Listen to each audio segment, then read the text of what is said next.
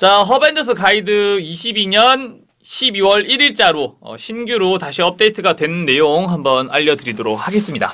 자, 그래서 0번 어, 가장 중요한 게 이제 매크로 마우스 혹은 매크로 키보드 이게 없으면은 허벤져스라는 근간에 에, 해당하는 부분이기 때문에 매크로 마우스가 없으면 일단 허벤져스가 아니라고 할 수가 있겠죠. 어, 그래서 매크로 마우스나 키보드 이게 일단 제일 중요하다고 보고요. 그 다음에 내가 광목 천왕을 뽑았다. 광목 천왕을 뽑았는데 광목 천왕 200레벨의 풀태, 215레벨의 풀공명, 그 다음에 사주작 청룡이 순으로 올라가시면 되고 뭐 거불 같은 템을 미리 킵을 좀 해놨다면 좋겠죠.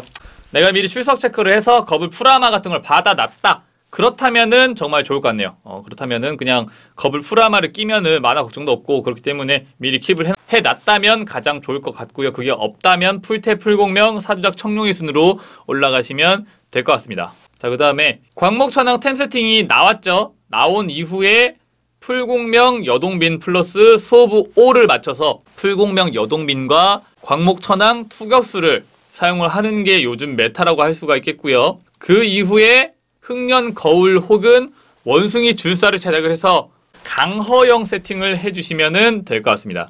요즘은 그냥 고창극 구매할 돈으로 그 돈 쪼개서 강허영에다가 여동빈을 맞추는 게 요즘 메타다.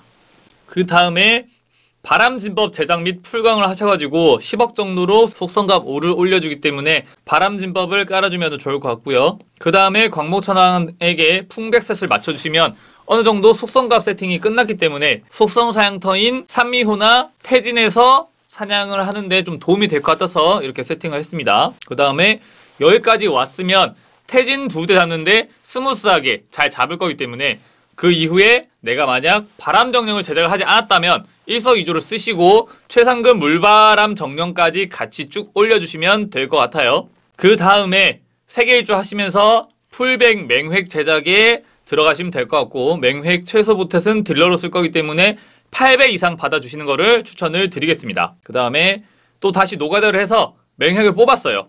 우리가 맹획을 뽑았고 맹획 역시 마찬가지로 사조작 청룡이 풍백셋까지 껴줍니다. 그러면은 지금 3격수가 됐고요. 3격수인 상태에서 광목천왕 고창극을 사줘서 광목천왕 데미지랑 이동속도 추가로 더 빠르게 해주시고요. 그 다음에 돈 모아서 대이덕 명황까지 제작을 해주면 될 것 같습니다. 그러면 대이덕 명황 추가되면서 사격수가 되겠죠. 사격수가 되면 대이덕 명왕도 마찬가지로 사주작 청룡이 풍백셋까지 껴주면 사격수에다가 지금 풍백셋까지 세팅이 다 돼서 속성까지까지 다 챙겨준 모습이고요. 13번에 아직 안 샀던 광목불을 맨 마지막에 챙겨주면서 속성과 맞춰주시고 딜러들 반고셋까지 맞추면서 풀 외변을 맞추게 됩니다. 그 다음에 아직도 만약에 각성 아르주나를 내가 뽑지 않았다면 이 정도쯤 왔으면 각성 아르주나를 제작을 해 주셔야 될 것 같고요. 저항깡용으로. 그 다음에 15번으로 항삼세 명왕을 뽑는 걸 추천을 드렸어요. 항삼세 명왕을 뽑거나 아이라바트를 뽑거나 둘 중 하나인데 항삼세 명을 뽑으면 좀 더 좋은 게 사냥에 좀 더 안정적이야. 확실히 메인 도발 탱커가 있고 없고 차이가 좀 있단 말이에요. 영향이. 그렇기 때문에 저는 아이라바타보다는 항삼세 명왕 뽑는 거를 추천을 드리고요. 그 다음에 나는 나는 약간 딜뽕에 미친 새끼야.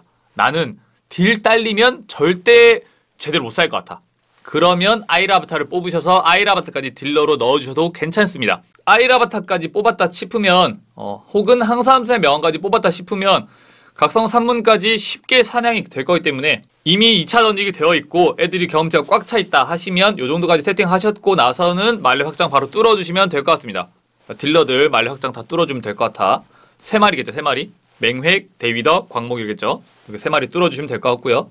그래서 항삼세 명왕, 아이를 아바타까지 다 뽑았어요. 나 지금 다 뽑았어. 그 다음에 지금 이미 각성 3문 잡고 있을 거고 말레 확장도 어느 정도 돼 있는 상황이겠죠. 만약에 16번까지 왔다고 치면.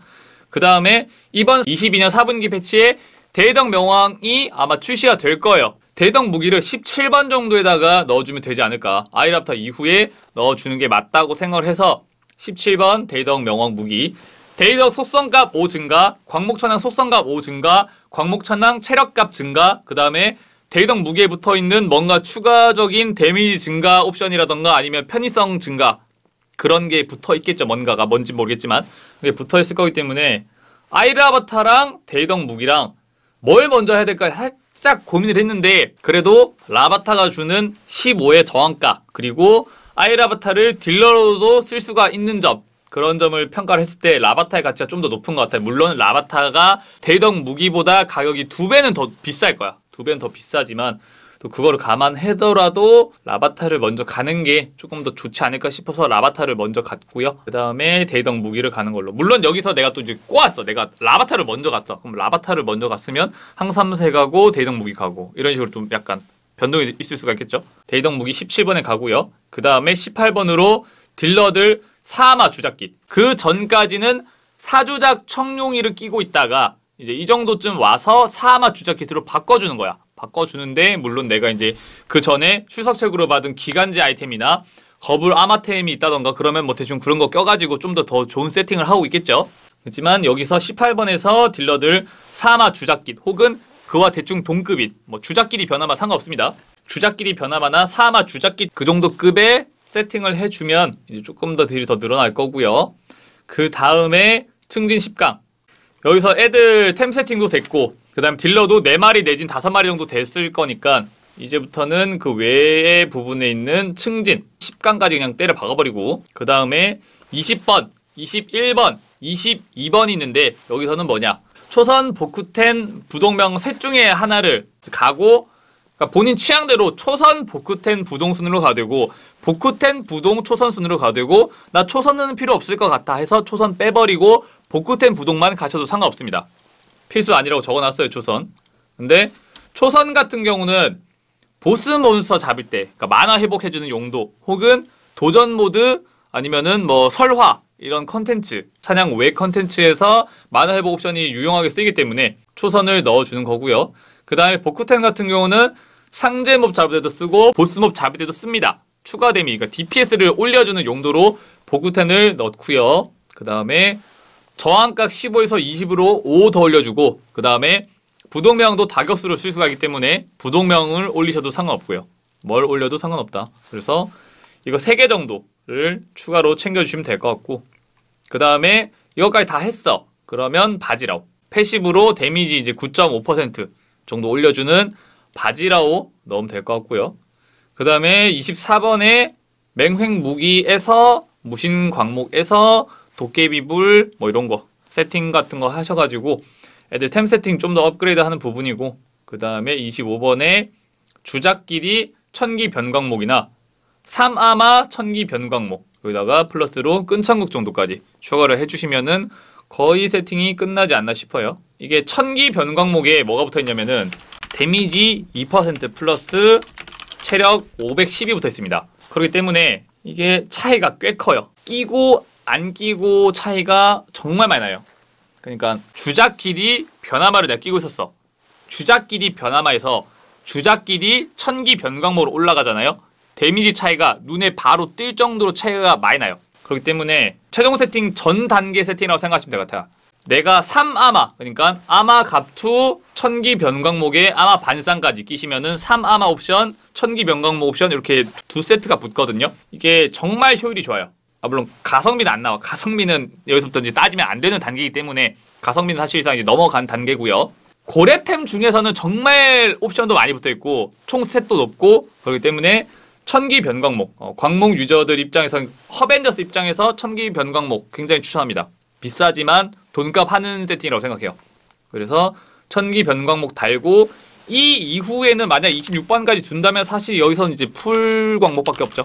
사실 25번에서 26번은 바로 풀 광목 광목 반상으로 넘어가는 게 맞는 것 같아요. 여기다가 이제 플러스 뭐 북두가 붙겠죠 아마. 아 이제 힘격수 같은 경우는 어떻게 가냐고 이제 물어보시는 분들이 많은데 제일 좋은 건 역시 라바타나 부동 같은 경우는 옵션 스탯 합으로 봤을 때는 천추풀항제 황반쌍이 제일 좋아요. 라바타 부동은 천추풀항제 황반쌍에다가 지력 스탯으로 더 찍어주시면 되고요. 중남 같은 경우는 변화마 같은 지력 스팅을 껴준 다음에 올림하고 힘천장을 하는 게 총셋 합은 더 많기 때문에 얘는 그냥 템으로 지력을 챙기기 더 좋습니다. 광목천왕 특성에 대해서도 설명을 해드리자면은 원래 6광 10충이거든요. 6광 10충이 맞는데 초반에 이렇게 쓰면은 원격수나거나 투격수일 때 딜이 좀 안 나와서 레벨업이 좀 힘들 수 있어요. 그래서 내가 자본이 빵빵한 경우가 아니라면 10광풍 이후 6충돌을 키우다가 격수가 3마리가 됐을 때 본기를 사용해서 6광 10충으로 바꿔요. 아니면 애초에 그냥 6광 10충으로 키우든가 참고 키우거나 둘 중 하나입니다. 이렇게 해서 특성을 두 가지로 올리는 방법이 있어요. 자 그래서 내가 이제 2차 전직을 하려고 하는데 2차 전직을 내가 좀 빡빡하게 하려고 한다 하시면은 여동빈, 광목, 강허영의 가가르 그리고 각 도올 혹은 데이덕으로 공중모습터를 잡고 빙벽으로 벽을 깔아서 뭐 이제 유방 뭐 이런 애들까지 패시브 까지 있으시면은 2차 전직을 가능하다고 볼 수가 있을 것 같아요. 이 정도까지가. 물론 여기서 더 타이트하게 가면은 뭐 더 빼도 돼. 광목 없어도 돼. 여동비 원격도로 잡아도 돼. 되지만 그렇게 하면 너무 어려워지기 때문에 우리가 뭐 이렇게 time attack 이런 걸 하는 거 아니니까 이 정도가 일반적인 유저 기준으로 봤을 때의 전직 커트라인이라고 보시면 될 것 같고요. 그 다음에 본캐 전직 같은 경우는 보통 중국 남자랑 인도 남자 두 가지로 하는데 거의 10중 10은 중국 남자 쓰신다고 보시면 될 것 같고요. 중국 남자를 써서 중국 남자가 올려주는 풍속성 속성값 5 그리고 본캐가 깎아주는 저항각 10 중국 남자 자체가 데미지가 엄청 높아요. 힘천장을 써주면 데미지가 굉장히 높기 때문에 정석성 보스를 잡을 때는 오히려 인도 남자보다 낫다. 라는 평가가 요즘 평가 좀 바뀌었어요. 바뀌어가지고 중남이 오히려 정속성 기준으로 더 낫다. 그래서 정속성은 중남. 정속성 외에 내가 원한 신 이런 거 잡으려고 하는데 원한신 속성이 많잖아요. 그래서 그 속성을 잡고 싶다 하시면은 인도 남자의 쿠노이치 조도를 사용해서 채뻥하고 이렇게 해서 다른 보스 잡을 때는 이제 인남을 사용을 한다더라. 한 하더라. 그래서 중국 남자나 인도 남자 보통 둘 중 하나 사용하시면 될 것 같습니다. 자, 그 다음에 허벤져스 사냥터인데 이제 저랩일 때는 200레벨 미만일 때는 소탕령이나 벼락의 찬구로 가시면 될 것 같고 중간에 그러고 보니까 하나가 더 생겼네요. 지금 제가 안 넣었는데 벼락의 사령술사라는 몹이 나왔죠. 275에 48만입니다. 48에 타저 275라서 이제 무면기 전 갈 수 있는 초보 사냥터라고 보시면 될 것 같아요. 그러니까 절랩 광목이나 절랩 여동빈이 갈 수 있는 물론 여동빈은 절랩 여동빈은 좀 힘들 것 같고 뭐 절랩 여동빈 플러스 광목이라던가 절랩 광목이라던가 아니면은 뭐 여동빈 플러스 강허영이라던가 이런 친구들이 가는 중간 단계 무면기를 가기 전에 중간에 생긴 사냥터라고 보시면 될 것 같고요. 여기서도 한 215 정도까지 키워도 될 것 같습니다. 다음에 무면기. 무면기도 이제 전통의 저랩 사냥터죠. 200에서 215 정도. 풀텍 끼면 잡히긴 잡히거든요 무면기도. 그래서 여기도 있고 무면기 위에 산미호가 있고 산미호 위에 태진 있고요. 태진은 산미호보다 더 세다. 태진은 이제 패시브도 필요하고 타저 패시브도 필요하고 이런 거좀 해서 조금 더 세다. 대신 심정 드랍한다. 그 다음에 검은 상단 치유사라는 상터가 있는데 치유사도 나쁘진 않은 것 같음. 드랍템이 추가로 더 생겼지 않나요 이거? 은장식 팔찌가 퀘스트 아이템으로 들어가고 뇌인장이 지금 비싸졌죠? 아, 뭐더라 뭐 때문에 얘가 좋아졌다고 했는데 은장식 팔찌 하나 때문에 그런 건가요? 정확한 이유가 모르겠네 아마 퀘스트 아이템으로 템 드랍한다고 해서 좀 좋아졌다 라고 얘기를 들었던 것 같아요 그래서 검은 상단 치유사가 거구기보다 훨씬 나아. 뇌전주 걸립니다. 검은 상단 치유사는 뇌전주가 걸리기 때문에 딜러 두 마리에다가 강허영 정도만 있어도 충분히 사냥이 가능해요. 음, 뇌전주가 통하기 때문에 쉬운 사냥터입니다. 그래서 경험치 약간 몰빵이야. 그래서 나 돈은 많은데 레벨을 좀 빨리 하고 싶다 하시면은 검은 상단 치유사 나쁘지 않은 상터인 것 같고요. 그 다음에 광려산 정상이 있는데 여기서는 오색 결정 가루가 비싸졌을 때 나 허벤이지만 오결가 케어하겠다 싶을 때 그럴 때 가는 상토고 경험치도 나쁘지 않아요. 경험치도 나쁜 상토는 아니기 때문에.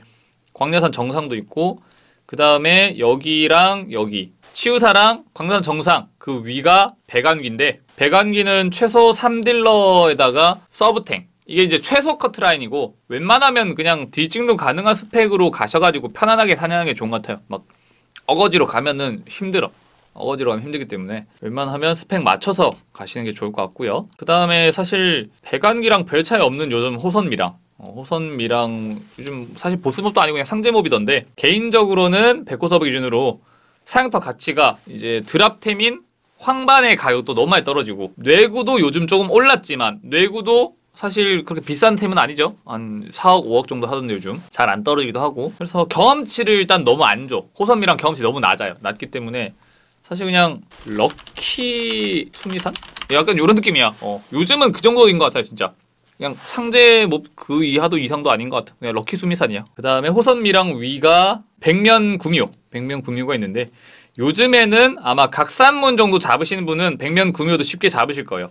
각산문이랑 백면 구묘가 거의 동급 사양터라고 보시면 될 것 같고 여기는 증장 허리띠 드랍합니다. 그래서 증장 허리띠 가격 보고 좀 비싸다 싶으면 뭐 비싼 레어 한번 먹어보고 싶은데 나 스펙이 좀 애매한데 라고 생각하시면은 뭐 백면 구묘 정도 가끔 정도 가볼 만한 사냥터 같고 그 다음에 뇌식기 뇌식기가 각산문 반 단계 정도 낮은 상터인데 여기는 극 마저 메인 탱커가 없으면 아예 못 가요. 웃긴 게 각산문보다 더 약하지만 각산문은 노탱 사냥이 되는데 뇌식기는 노탱 사냥이 아예 불가능해요. 그게 약간 좀 웃긴 것 같은. 근데 사냥터 자체는 실제로는 반 단계 더 낮은 상터는 맞고요. 범저서판 만화, 청룡투납, 청룡 반지 이런 거 드랍하고 대신 공중몹 섞여서 나옴. 그 다음에 꿀사냥터라고 하는 각산문이죠. 각산문에 여기는 최소 스펙이 3딜러 플러스 라바타, 아, 라바타 파동 3격수거나 아니면은 사격수 맞추고 라바타 없이 항삼세 정도는 되시면 각산문을 잡으실 수가 있고요. clear time이 11초 정도가 나오면 11초 이하로 끊을 수 있다 두 부대를 그러면은 노탱 사냥도 되긴 돼요. 근데 대신 산문이 점프를 해서 좀 불안정해. 잡히긴 잡히는데 좀 터질 수 있어. 그리고 여기는 수익도 좋고요. 경험치도 좋고요. 레어 아이템까지 삼박자가 다 맞는 개사기 사냥터라고 볼 수가 있겠고요. 여기보다 더 사기인 곳이 어디냐? 각산문 개사기 사냥터인데 지금 현재 각산문 뺨을 그냥 갈겨버린 사냥터가 어디냐? 도사각. 각산문에서 그 위 사냥터인데 물론 여기는 스펙이 굉장히 좋아야지 진입이 가능합니다. 각산문은 뭐 아이라바타가 없다던가 항삼색 없다던가 뭐가 없어도 잡혀. 뭐가 없어도 잡히지만 도사각은 뭐 하나 빠지면 그냥 아예 사냥이 안 되는 그런 사냥터이기 때문에 자 도사각 같은 경우는 체력 150만에 타저가 무려 335고요 경험치는 41만에 속성값이 90이라서 뭐 하나가 빠지면 안 잡힌 상태예요 광무천왕의 전투화를 드랍을 하고요 기본적으로 시간당 수익도 굉장히 높고 경험치도 각산문보다 높고 현재로서는 허변에서 최고 사양터라고 볼 수가 있겠죠 근데 대신 여기는 최소 2차 중남이 포함된 사격수 어, 에다가 뭐 항삼세, 항삼세나 야차나 요 정도는 있어야 사냥 커트라인 시작이 그거야 그냥. 뭐 하나가 없어. 그러면 나가리. 최소 사격수. 2차 중간 포함된 사격수 플러스 항삼세 혹은 야차. 여기다가 라바타까지 있으셔야 사냥이 가능하다고 볼 수가 있겠네요. 그 다음에 보스몹으로 따졌을 때는 요즘 일반인들이 조금 관심 가질 만한 상터가 악몽기랑 발로 정도가 있겠네요. 악몽기는 이제 악정, 악몽의 정수 캐러 가는 곳이고 발로는 이제 뭐 바반 악정 정도가 있겠네요. 악몽기보다 발로가 더 높은 상터다.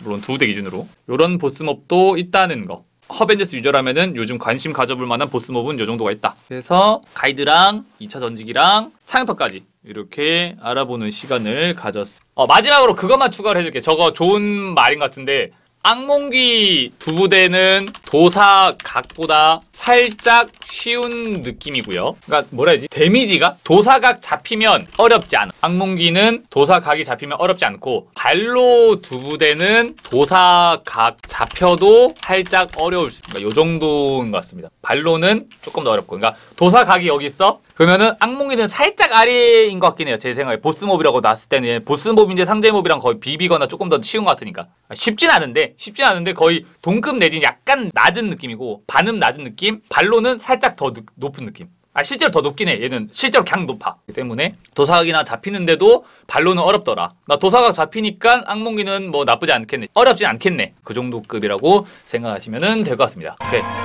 진짜 끝 어, 어벤져스 가이드 어, 최신편 개정 끝